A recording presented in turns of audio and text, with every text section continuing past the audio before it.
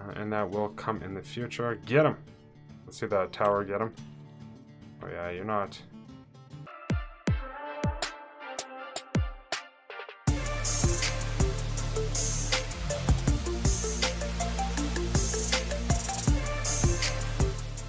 Hey guys, and welcome back to TerraTech with me, Tenzen. How are you doing today? I'm doing pretty good. I hope you're doing pretty good. If you guys like today's episode, please like and share as you see fit. And if you haven't already, please subscribe.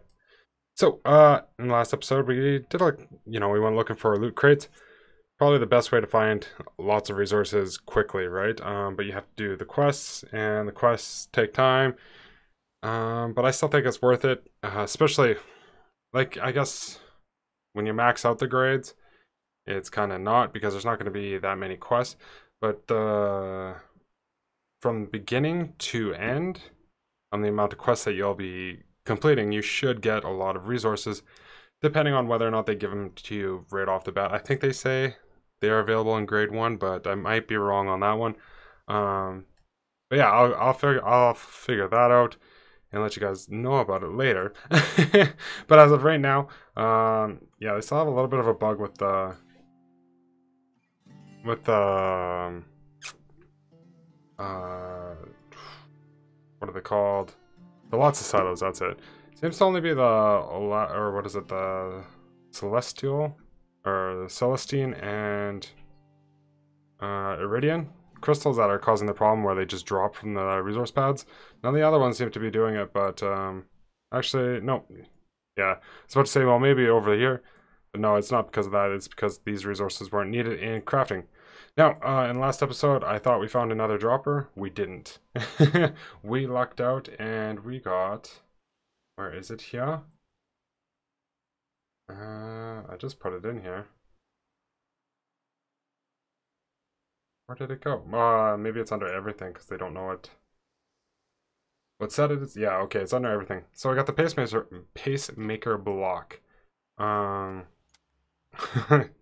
I, I showed you guys this one in the R&D not too long ago, and if you haven't seen it, it allows you to control the speed of your conveyor belts, which is super awesome. So let's see, what do we need to load up? Uh, what is this one? No, I know. It's the resource. Titanium. I should know that. Or titanium. Why do they have to get such weird names? Anyways, um, 120 might be too much for that, so let's go 24. So let's go like that. Now, uh, with, the, with the pacemaker block, it's supposed to work anywhere on your conveyor belt. So let's uh, slow motion everything. And as you guys can see, it's nice and slow. This allows you to find out those uh, the hiccups in your conveyor belts, which is going to be mm, probably pretty good later on when uh, fabrication bases get really, really complicated. Uh, so then we'll go to normal speed which is just well, obviously normal. You can pause it if you're like uh, this titanium was about to go to a hopper or I mean a payload terminal or somewhere where it wasn't supposed to. You can stop it, change the conveyor belt beforehand, and not have to worry about it. But let's see what happens when it double times.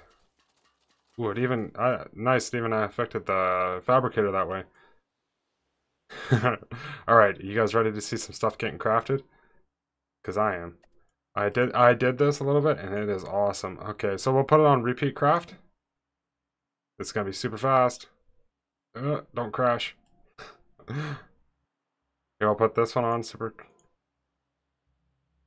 And see, it pauses for a second because the whole the whole conveyor belt system needs to think. Look at that, hey.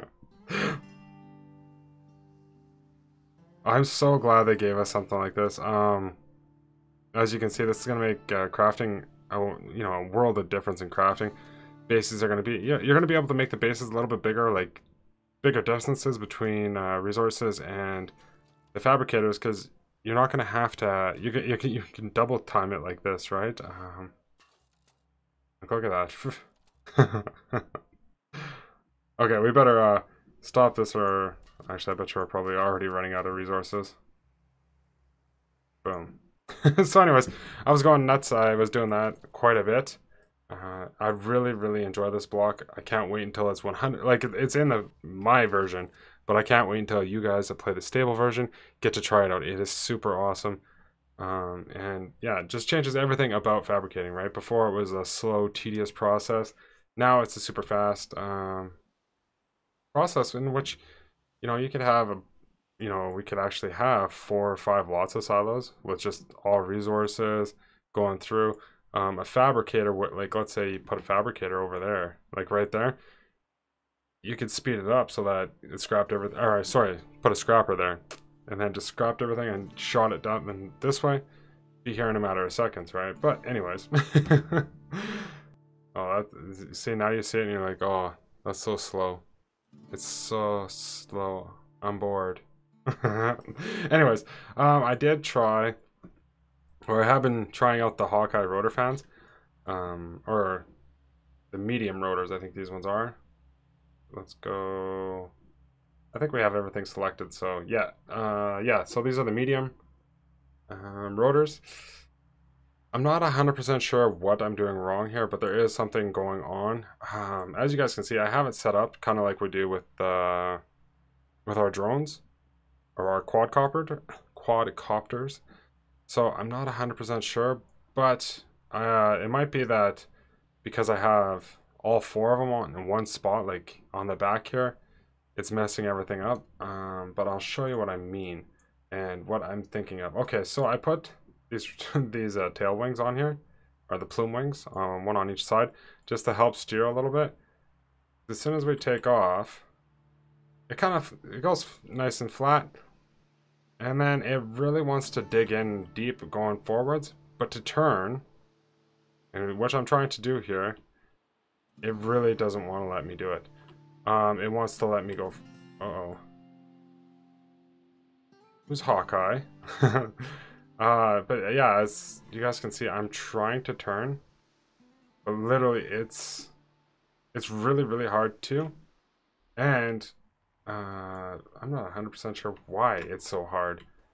Uh, maybe I will try this. Like maybe this fan has to be over here, and this one needs to be over here, kind of thing.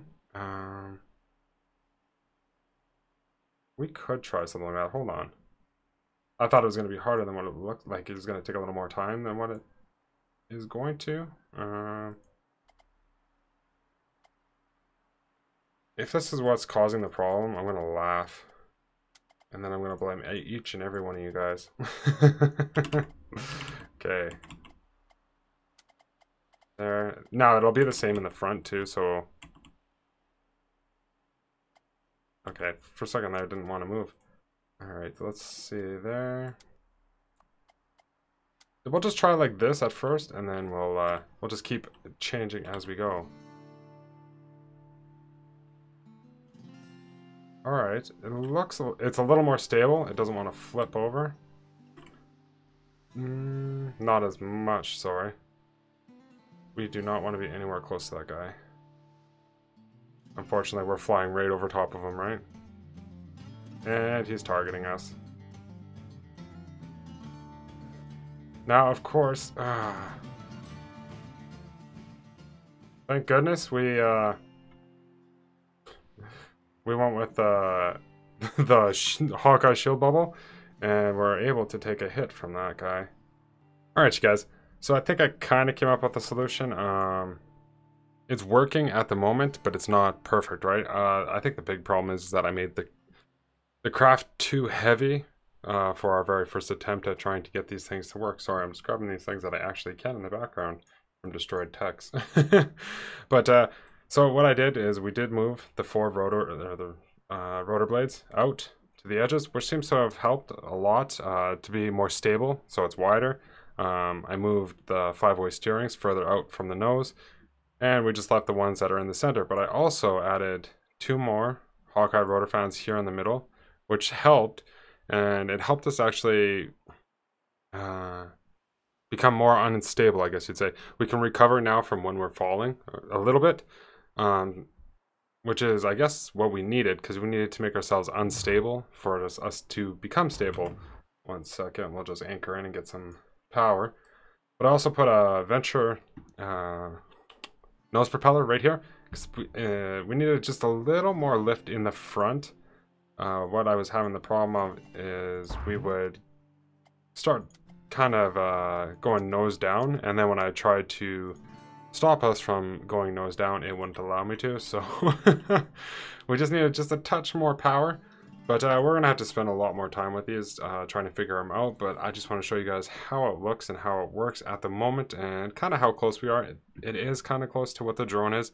Um, I think I was kind of... I, was, I think I was expecting too much. Um, oops. Just because I, I think I was trying to think of like, you know, they're gonna, it's gonna act just like the drones or the quadcopters, but it's not going to, right? So it's to take off nicely. Uh, we're to press forward to get the nose down. And you need the nose down in order to turn. But the turning radius on these is a little bit different. Yeah, it's not as sharp as the quadcopters.